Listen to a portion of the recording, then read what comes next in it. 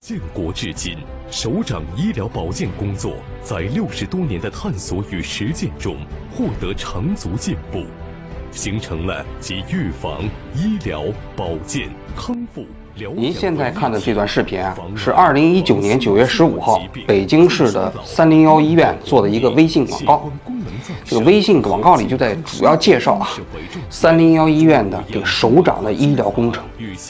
按照他这个广告里讲啊，就中国的党和国家领导人呢，平均寿命远远高于西方国家，有八十八岁。然后呢，为什么如此呢？是因为中国已经有一套中西医结合的名列全球第一的领导保健体系。广告的最后，他们还讲到啊，他们的目标就是让中国的党和国家领导人呢都能活到一百五十岁。我的首长医疗保健体系是经实践认可、卓有成效的全球第一医疗保健体系。这个广告一播出啊，立刻在舆论就炸了。你想想，现在很多老百姓是不是看病没有钱？然后呢，有的人就是说。明明躺在医院门口都得不到收治，还有有人其实因为付不起医药费，明明可以治好的病啊，不得不离开。但是大家看到这样的一个广告会产生什么样的联想呢？是不是？一方面老百姓背负着医疗的三座大山，另外一方面这些党和国家领导人呢又穷奢极欲啊，用全国的资疗医疗资源去维护这些少数人的特权。于是呢，这个广告就被屏蔽了。但屏蔽归屏蔽，人家广告里说的倒也是事实。比如说啊，他说到中国的党和国家领导人啊，确实比西方国家人平均寿命长，这是事实啊。你可以看啊，前几天二十大召开的时候啊，那宋平坐在主席台上。宋平今年多大了？一百零五岁啊，而且还能开会啊，人家可不是躺在床上进来的啊。我看这宋平啊，有可能要打破啊这党和国家领导人中间的长寿记录。在他之前啊，就是现在。党和国家领导人里活得最长的是叫雷洁琼，活的一百零六岁，然后之后呢是这个吕正操，一百零五岁，一百岁以上一大批啊，什么这个邓丽群说一百岁，还有那个什么李锐一百零一岁，什么张震一百零一岁，一百岁有一大批。那你想想，你在现实生活中你能见到的百岁以上的老人还是比较少见的，对不对？那党和国家领导人中间的九十岁以上，那就是比比皆是了。邓小平活到九十三。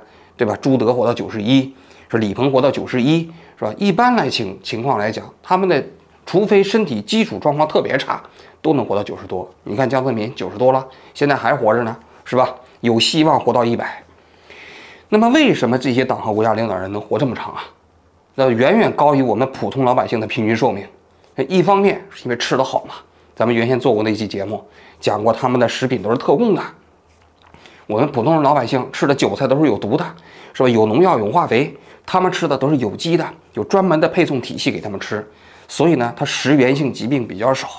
另外一方面，其实就是因为他们还拥有一套特供体系，比如说空气，中南海的空气，我原先在节目里说，我说空气没办法特供，有人跟我讲，他说王军你错了，中南海里面的空气全部是特供的一套新风系统啊。那每天那里头含氧量是多少，温度是多少，湿度是多少，全都是一整套独立的系统，跟这个屋子外面那个普通的屁民生活的完全不是一个世界呀。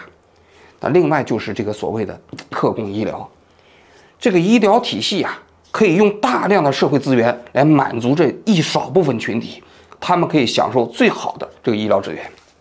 那你想想，他能不活吗？活的时间长吗？是吧？要说它这个医疗特供体系啊，跟我们的食品特供体系一样，最早也是延安时期建立的。大家都知道，萧军当时到延安的时候啊，写过一本书，叫做《延安日记》。在《延安日记》里，他就讲到啊，他说他出去遛弯的时候，看着毛泽东的老婆骑着马就去了这个干部休养所，他当时心里特别不平衡。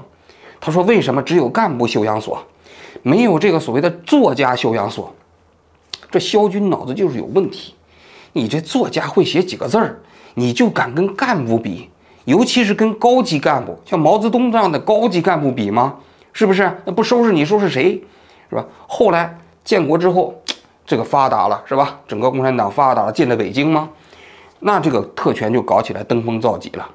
大家都知道，北京这个这个一攻陷北京之后，老毛就搬进了中南海，搬进了中南海之后，就专门给他配了一名配了一名一名私人医生，这名医生名叫李志随。这李志随啊，他们家祖上是御医，后来呢，他在西方学了医学啊，得了一个医学博士。一九四九年呢，回到中国，正好呢，当时卫生部去寻找这样的人，就挑上了他，就把他送进了中南海啊，一直陪伴着毛泽东。他从这个老毛进入到中南海，一直陪到老毛最后离开这个人世。所以说他是最贴近老毛的人，老毛的身体状况啊，各个方面的情况、治疗啊，他其实都是最核心的人。其他身体有什么病了，找其他的专家组来跟他一起，最后会商怎么治疗。那李自随呢，后来老毛离开人世之后去了美国，写了一本非常著名的书，叫《毛泽东私人医生回忆录》。这本书我过去讲过啊，在境内是天字一号禁书。为什么是天字一号呢？其实这书里头有两个内容特别犯忌。第一就讲了大量的老毛啊个人生活的私生活混乱的那个内容，不天天搞女孩子啊，想跟谁睡就跟谁睡啊，然后那个，呃，其实这个人这个，呃，不光是跟小姑娘睡，还跟那些党的其他的干部的老婆睡，是吧？等等，就是这些内容啊。这个如果要是让老百姓知道，不得了，那伟大领袖那个伟光正的形象立刻就崩塌了，是吧？另外一个就是他的很多私人生活的细节，比如怎么吃饭呢？怎么看病啊？是吧？这些细节。看起来之后啊，跟那个伟人的形象也非常不搭。老毛啊，一辈子活了八十三岁，要说呢是这个寿命啊，在这个早期的共产党干部里不算时间特别久的，因为朱德活到九十一嘛，这个周恩来活了七十八，比他少小几岁啊。但是你要知道，老毛的私人生活啊，个人生活极不健康。首先吃的方面，大家都知道啊，他喜欢吃红烧肉啊，大鱼大肉。他本质上来讲，他饮食习惯上是个农民。当时厨师给他做法餐，他吃不惯，他就喜欢湖南农民那一口辣椒红烧肉，是吧？但是这些东西其实对个人的健康不是特别好。但是呢，谁也不敢惹他，他想吃什么他就得吃什么。另外一个，他是不讲个人卫生，他是从不刷牙呀，然后呢也不洗澡。那当时他不刷牙的话，久而久之就得了牙龈炎嘛，牙周病嘛。后来李自随就请别的医生过来给他看。一看那牙里头，那这是牙嘴一张开，里头都绿了，是吧？然后呢，就跟他说有几颗牙已经不行了，全是脓血。最后呢，把那牙拔掉，哎，他体内的白细胞恢复正常了。就老毛这个人呢，他平时对检查身体和看病极为抗拒，他就这样的生活方式，他能活到八十三，说实在的，已经非常不容易了啊。为什么呢？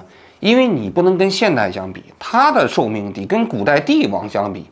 他跟那乾隆比起来，他肯定是比乾隆活得稍微差一点儿，其他的他都是比那些封建帝王活的时间长啊，是吧？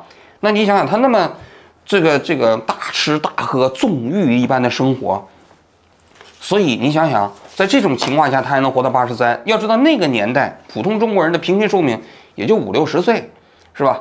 所以他所享受的这个特供医疗体系，在那个时候是金字塔尖上的，不光是他的，还是他老婆了。老毛是因为和江青都有便秘，这便秘呢，老毛是靠自己的那些警卫给他灌肠，然后呢，这个江青呢也是有便秘，每次上厕所就专门有个护士给他用手抠，是吧？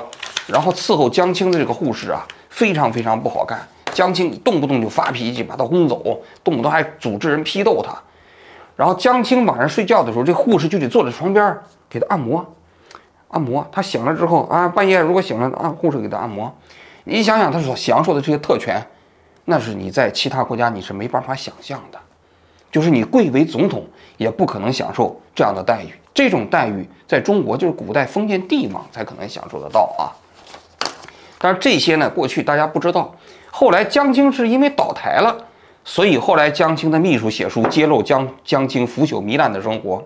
而这李自随呢，是老毛死了之后，他移民到了美国。老毛咽气儿的时候，李自随就在身边啊。老毛拉着李志随的手说：“李医生，我还有救吗？”然后呢，就咽气儿了。这李自随呢，在老毛去世之后呢，在北京医院当院长。后来呢，他就跟夫人移民到美国，写了这本《毛泽东私人医生回忆录》。当然，写完之后不久啊，他呢就去世了。但是改革开放之后啊。这共产党的这个高级干部的这个特权呢，那在医疗方面，在食物方面，应该说比老毛那个时代更进步了。为什么呢？因为老毛那个时代虽然等级森严，但是总体来讲它水平低。但是改革开放之后啊，你想想中国的医疗在不断的进步，是不是？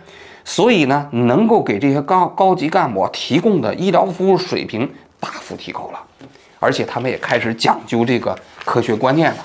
所以在这种情况下，你要知道这些共产党的高级干部才开始越活时间越长。要说啊，这个这一套医疗特供体系啊，它有很多问题。它最大的一个问题啊，就是不公平、不公正。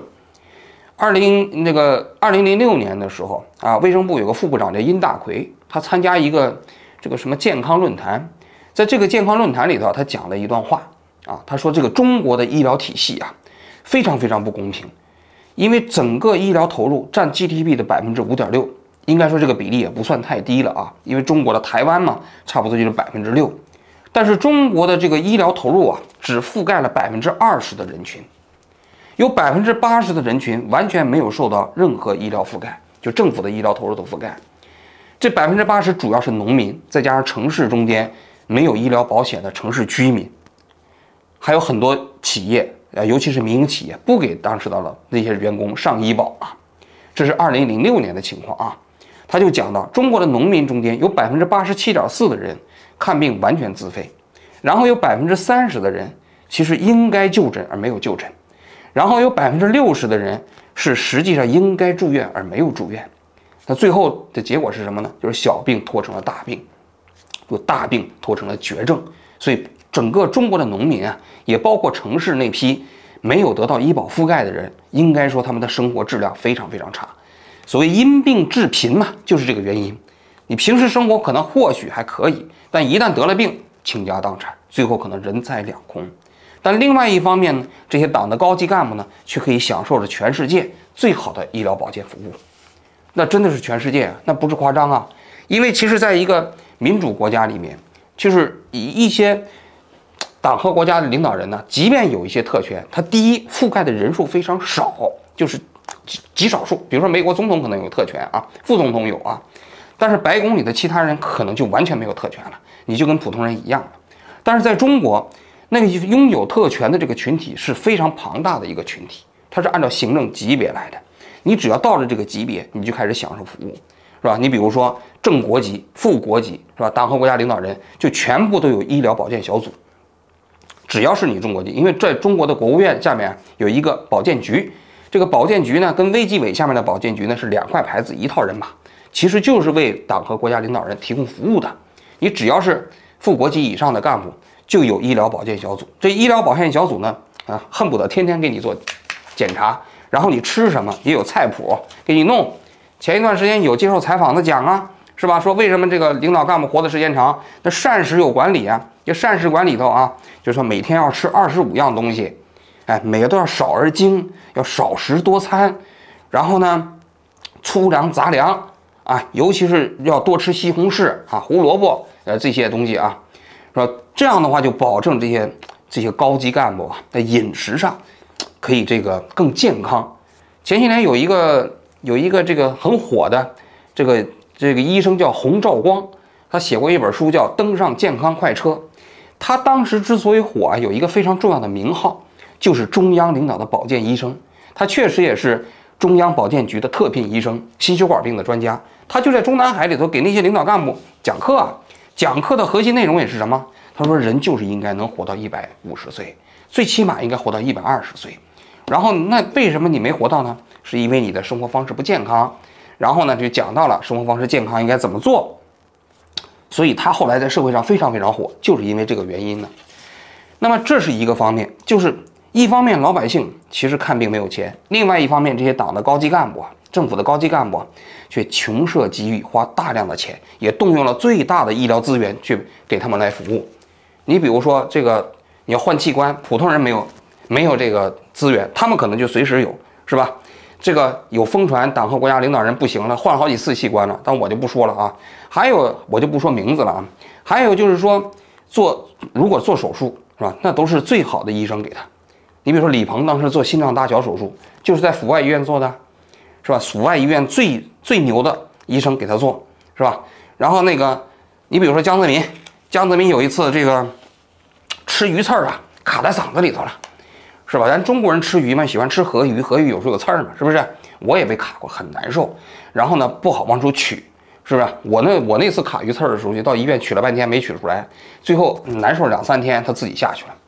老姜那次他当时就卡着鱼刺了，先是让三零幺医院的耳鼻喉科的那主任过来给他取。说实在的，那耳鼻喉科的医生那个主任呢，见着老姜有点哆嗦，说取了半天没取出来，最后呢就换了北京医院的耳鼻喉科的这个主任啊，过来给他取，就取出来了。结果呢，据说是那三零医院医院那个耳鼻喉科的那个主任呢就下去了，然后那个北京医院的耳鼻喉科的主任呢就升上去了，是吧？你看这伴君如伴虎啊，是吧？这是第一点啊，就是这个非常不公平。第二，说实在就奢靡无度啊，这个其实啊，这个当时就是这个殷大奎啊，他讲的这个演讲中间还提到一个数字，他说在我们这个百分之五点六的这个医疗投入里头啊，其中百分之八十的钱都给了八百五十万的党政干部，也就是公务员，也就是说其他百分之二十才覆盖了那些所谓的呃一般的事业单位的那些人呐，什么之类的。因为你要知道，财政当时的投入啊，只限就公务员和这个所谓的事业单位嘛。因为企业这一部分有另外一套体系，啊，基本上是企业和个人分担了。但是国家投入的基本上就主是主要是公务员和事业单位。事业单位有四千万人呐，四千万人的这个事业单位的人，所有的医疗资源服务就只有百分之二十，而这个政府的八百五十万公务员占了百分之八十。那这个数字一出来，大家都炸了，很多人都去采访殷大奎啊，殷大奎也害怕了，说我没说过呀。当时那个其实在我这个演讲之前啊，那个 PPT 上有这句话，是别人助手给我搜集的。我呢当时觉得这个数字不太靠谱，我就没讲。但是有些媒体呢，在他演讲之前就获得了这个 PPT，于是就把它引用出去了。他说这个数据是哪来的呢？是他们在网上搜的。有人说是中科院搞了一个调查报告。后来中科院传出来之后，中科院也吓坏了，赶紧出来辟谣说我们可没搞这个调查，是不是？我们哪敢调查党和国家领导人花多少钱这个搞医疗啊？是不是？有我们知道，我们也不敢说呀，是不是？所以中科院就辟谣了。后来他们就说网上的，这网上其实也不靠谱。为了做这期节目，我们就搜这个信息，最早就是殷大奎这个之前没有，殷大奎这个这次演讲之前没有这个数据。而且你去看这个所谓的辟谣也特别有意思啊，就是说他往国内有很多人辟谣说这个数据是假的，不可能，但是他就是不告诉你真实的数据是多少。比如说你是政府的 GDP 的百分之五点六投入到医疗里边面，到底这个公务员系统里花了多少钱呢？你不知道，事业单位花多少钱呢？你不知道，是吧？所以这个数据啊，我最后分析来分析去，我觉得大差不差。当然了，这是两千零六年的数据啊，咱们客观来讲，从两千零六年到现在，十六年过时间过去了啊，已经发生了很大的变化。比如说现在农民也有了新农合，城市居民也有城市居民的养老保险和医疗保险，所以那个整个医疗体系中间的公平度啊，跟当年比起来有变化。但是零六年的时候，这个数据应该说不算太夸张，就是它极不公平，而且当时呢，呃。两千零二年的时候，哎，全国两会的时候啊，有一个湖北省的这个全国政协委员，他当时就说了一组数据，因为当时的两会啊还比较开放，很多两会的代表其实就是开会的时候放炮的时候，他就讲，他说湖北省啊，公务员一年啊，就党政干部啊，医疗投入是多少钱呢？他说是六百块钱。两千零二年的时候啊，他说呢，一个正厅级干部投入是多少钱呢？他说这个是。八千块钱，也就是一个厅局级干部的医疗投入啊，是一个普通的公务员的公务员都是干部身份吗？就是十好几倍了。那如果是是农民的多少倍？那是无穷大了，对不对？农民没有啊，政府一分钱不投资啊。所以你要知道，就是在这个体系内，不同的权力等级下，他们所享受的那个医疗服务真的是奢靡无度啊。那就就在两千零六年，还有一个新闻特别有意思，就吉林省啊。当时有一个吉林大学白求恩附属医院，他自己把这个干部病房重新装修了，然后呢就发了一篇文章，说什么呢？因为他说我这个干部干部楼啊，干部病房楼建好了，可以提供两百四十七张这个病房，极大的改善这个保健干部对象的就医环境。然后贴着那个图片，大家一看富丽堂皇啊，那大堂里头看着跟五星级酒店一样。那老百姓一看心里就不平衡了，是不是？凭什么我们去看病的时候，我们得起早贪黑到那去抢号，还得从号贩子里去买号，然后我们约专家也约不上，但是你们住着那个楼堂馆所一般的这个干部病房楼看病，凭什么呀？你不是天天说自己是人民公仆为人民服务吗？为什么你们其实就是享受着比我们好得多的医疗服务条件呢？这后来这个白求恩这个附属医院出来还还还解释呢，说其实没有那么夸张，是那个镜头拍的角度有问题啊。事后那记者去调查，那背景有点复杂，为什么呢？就原先呢，这吉林省啊的干部保健医院就是这家白求恩附属医院，后来呢，就是这个这个吉林省人民医院呢，觉得这个东西有利可图，自己也搞了一个干部病房。由于他后搞的嘛，这干部病房的硬件条件就比较好，所以很多这个吉林省的高级干部都喜欢去这个省人民医院的干部病房去看病。这白求恩这个这个附属医人民医院就觉得有压力了，为什么呢？因为领导干部在那儿看病啊，有很多好处。一个好处是他们的医疗费是全部都报的，上不封顶。一个普通的慢病在那住个十几天，平均一天一千块钱，对不对？如果看着大病了，随便花呀，是不是？那那那那个干部花的多，他们医院收入就多，这是第一点。第二点，就是这些高级领导干部啊，到他们自己那个地方去看病啊，他就关系就可以处得很好啊。比如省长啊、市委书记到那看病，然后呢，你拉个好了以后，平时给医院批个条子、盖个楼啊、拨点款呢，也很好说。所以这个白求恩医院就觉得有压力啊，不能让省人民医院比下去啊。于是自己咬咬牙，就把原先的干部病房给扒了，重新盖了一栋更漂亮的、硬件条件更好的这个楼啊。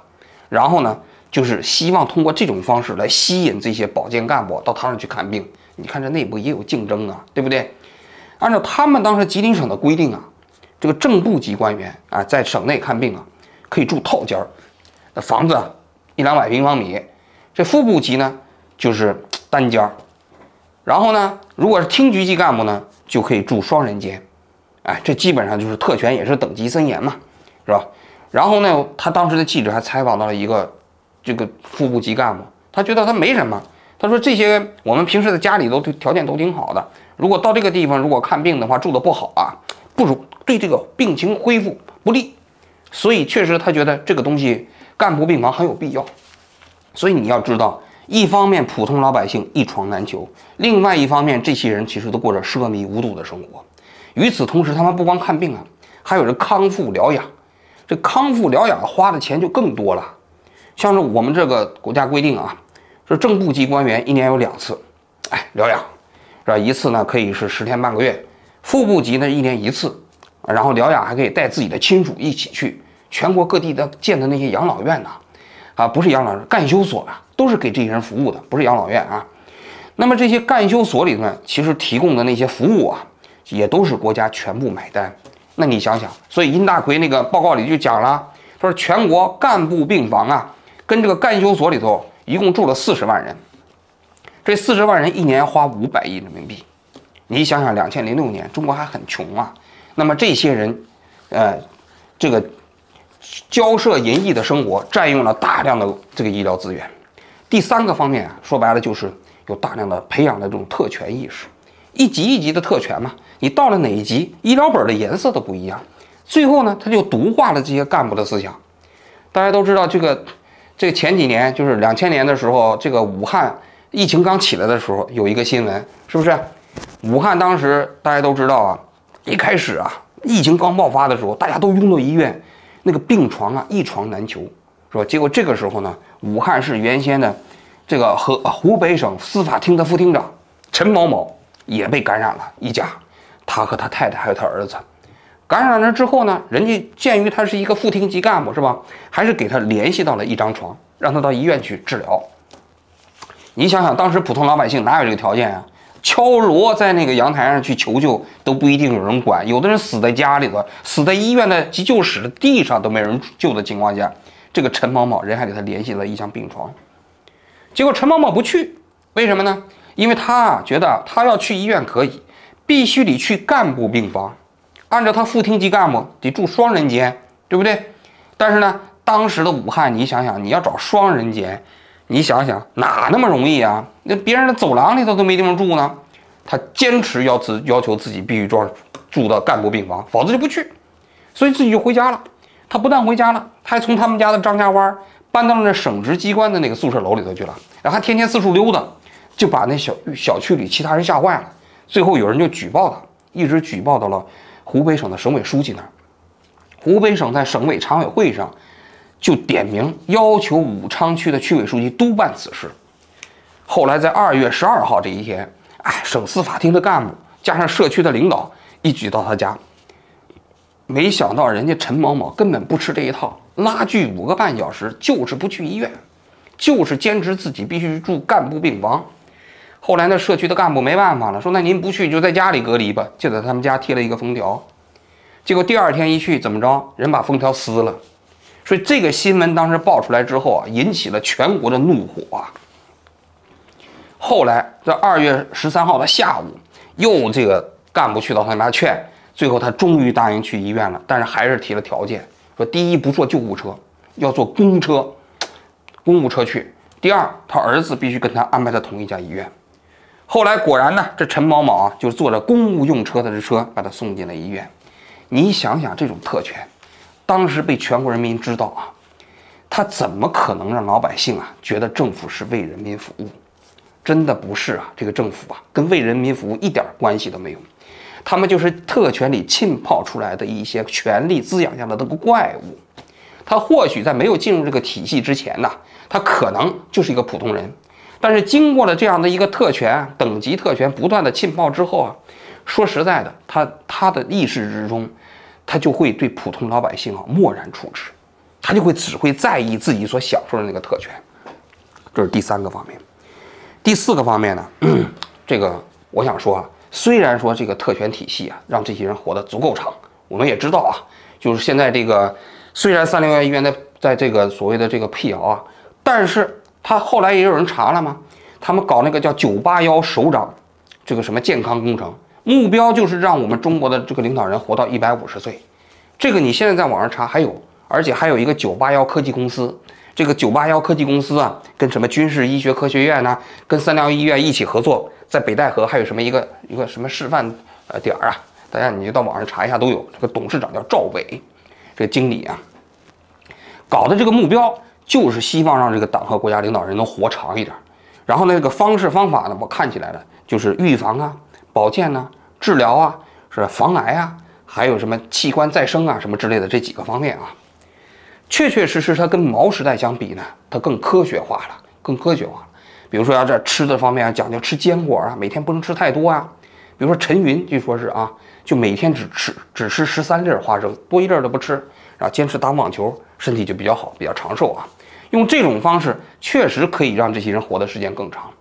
但是在这样的一个特权体系下，我要说啊，其实很多人也是这个工具，也是工具下的悲剧的产物。比如说这个周恩来，周恩来当时在文革期间得了膀胱癌，大家都知道。膀胱癌在癌症中间是属于比较好治的，比较容易治。就现在来说，膀胱癌也是生活生存率最高的癌症之一啊。但是他发现之后呢，医生其实没有权利给他做手术，要请示老毛，老毛就是不批准给他做手术。所以呢，当时的医疗小组的医生都不理解呀，他赶紧做呀，结果老毛就是不批准，最后实际上一直拖到癌症扩散之后才允许做手术。所以啊，你去看那个《晚年周恩来》这本书里头有详细的记载啊，就老毛的心思就是非常清楚，就是不能让周恩来活过自己，他让周恩来一定死在自己之前。可见那样一个特权体系，最终啊，实际上也没让特定的人享受到特别好的医疗服务待遇，相反呢，却成了权力穷长的牺牲品。